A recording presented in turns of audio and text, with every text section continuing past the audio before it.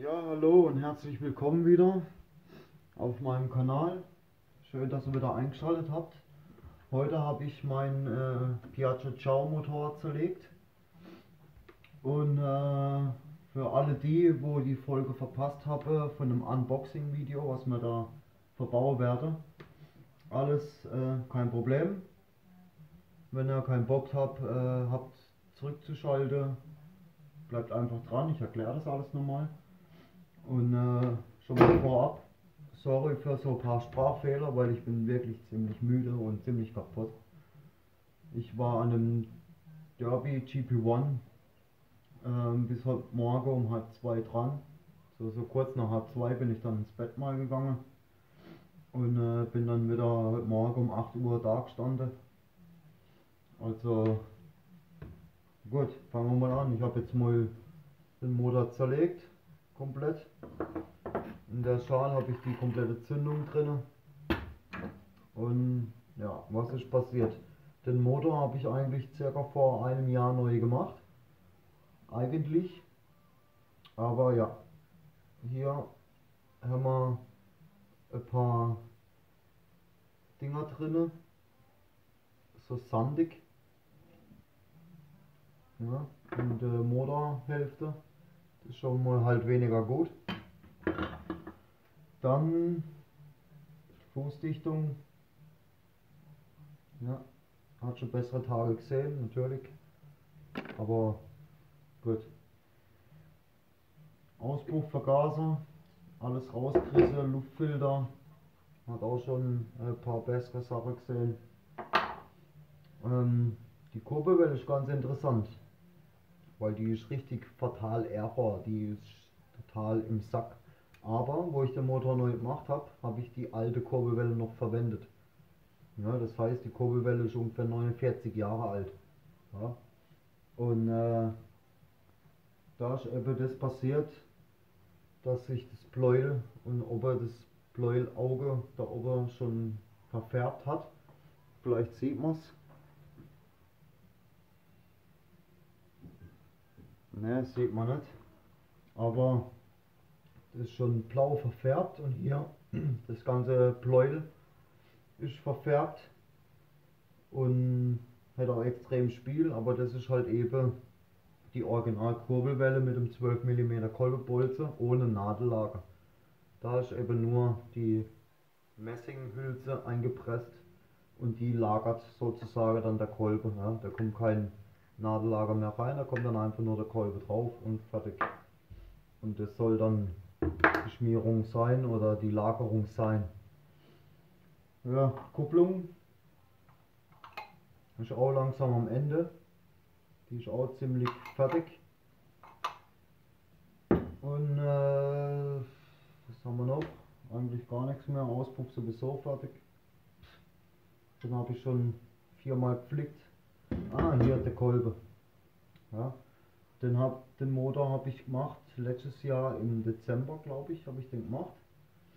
Und seht mal, wie der Kolbe aussieht. Ja. So ziemlich ziemlich abgefuckt. Ja. Der obere Kolbering, der lässt sich noch gut drehen. Wenn man den jetzt aber abzieht,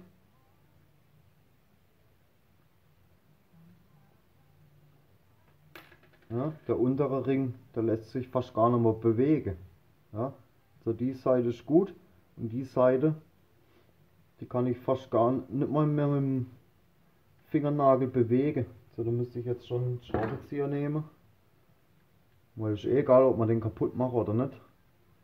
Der ist eh Müll, aber das ist richtig fest.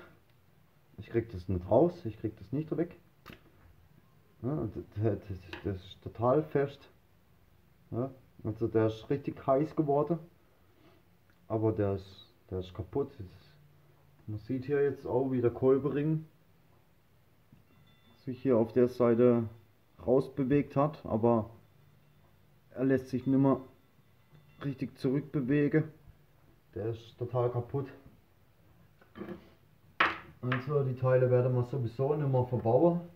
So wie sie waren, weil wir machen ein komplett neues Setup. Das stelle ich euch jetzt kurz vor, für die, wo das, äh, das Unboxing-Video verpasst habe. Ähm, stelle ich das nur mal vor. Ich räume schnell alles weg.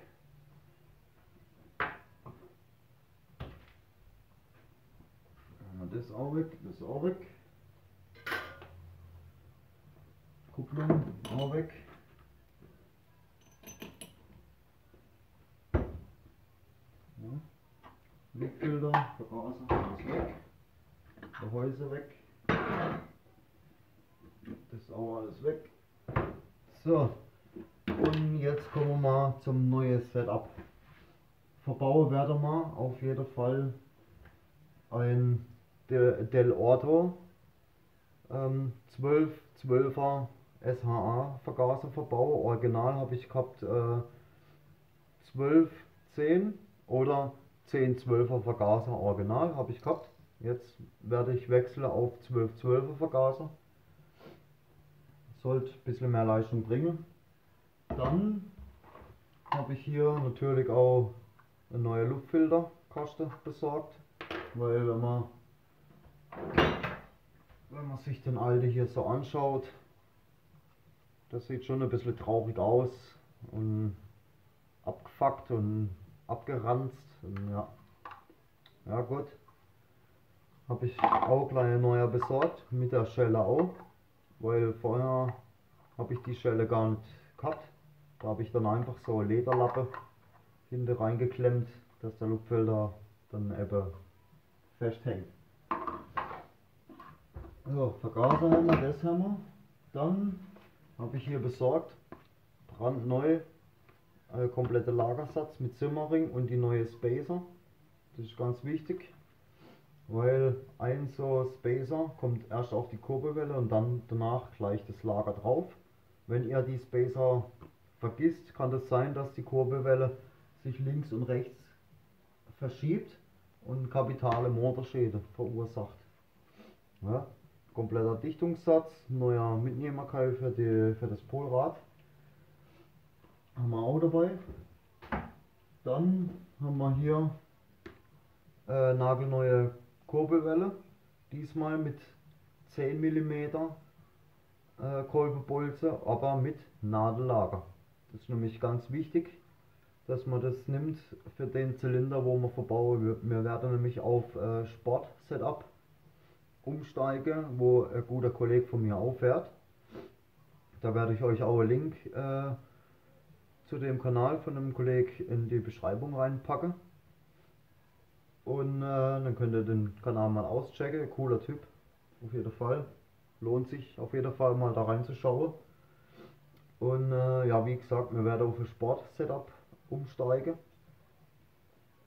Ähm, und deswegen 10 mm Kolbenbolze. Jetzt sagen manche, ja, geht es so einfach äh, von 12 mm Kolbenbolze auf 10 mm Kolbenbolze. Bei der Chow geht es ja ganz einfach alte Kurbelwelle raus, 12 mm Kolbenbolze raus und 10 mm Kolbenbolze Kurbelwelle rein. Ja, das ist alles Plug and Play mit dem Polrad, mit der Zündung ist alles, alles, alles gleich. So. Und dann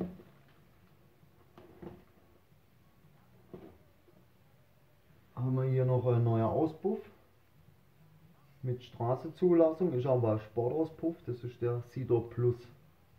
Ja. Der sollte ein bisschen mehr Leistung bringen und auch ein bisschen besseren Sound an den Tag legen.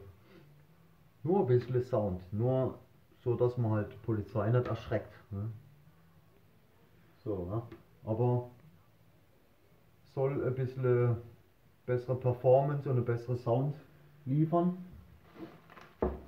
Dann haben wir hier brandneue Kupplung, ja, von der mir nicht alles verwenden werde. Ja, hat auch der Kollege mir gerade, weil ich ja die 30 mm Kupplung noch habe. Das ist eigentlich eine Tuning-Kupplung und das ist eine originale äh, 27 mm Kupplung.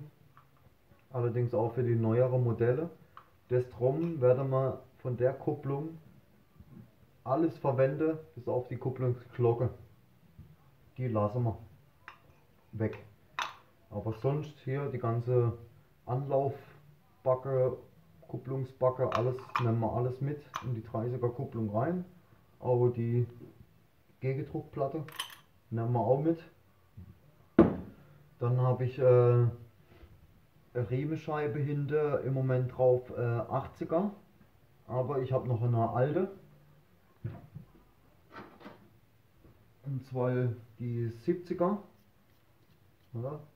Unter den Chow-Leute sagt man äh, Pulli dazu. Ich habe noch einen 70er Pulli hier. Das werde mal draufschrauben. Muss ich hier halt noch ein bisschen wieder richten. Ja. Dass er dann eben nicht gleich so hoch dreht. Ja, und das ist eben das 80er Pulli. Ja. Ist auch nicht schlecht. Ja, aber mit dem 80er dreht es halt eben sehr früh sehr hoch. Und mit dem Scheible hier, mit dem 70er, braucht es ein bisschen. Es läuft dann zwar etwas ein wenig schneller, wie es darf, aber um den Motor zu schonen, ist das wirklich sehr gut. Ja, ähm, ja was haben wir noch? Hier.